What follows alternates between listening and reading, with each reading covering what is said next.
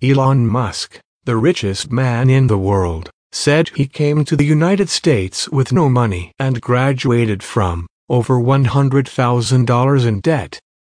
Earlier this week, the Tesla founder and space entrepreneur was named as Time magazine's Person of the Year for 2021, when he became the world's richest person this year. I came to the US with no money and graduated with over $100 K in debt, despite scholarships and DAMP. Working two jobs while at school, Musk said in a tweet.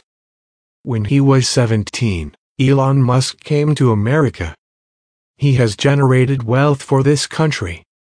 He has generated tax revenue for our government. He has increased American exports.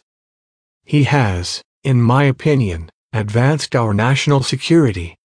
He's created jobs and minted millionaires, whole Mars catalog tweeted. Born to a Canadian mother and a South African father, Elon Musk grew up in South Africa, often violently bullied at school and parented by a father who he says was capable of evil.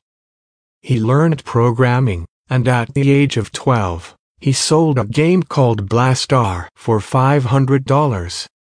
In his late teens, he left for the U.S., recognizing that he had to go there to fulfill his potential. He got two bachelor degrees.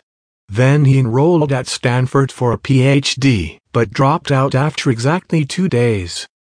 Silicon Valley was exploding with internet opportunities. Musk and his brother Kimball started a company called Zip2.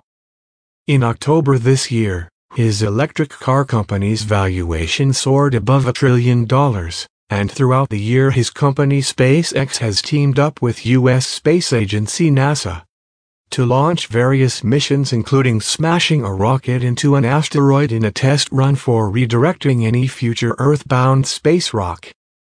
This is one of the great motivational journeys from a common man to the world's richest person. Thank you for watching. Please subscribe to the channel and hit the bell icon for everyday updates. See you in the next video.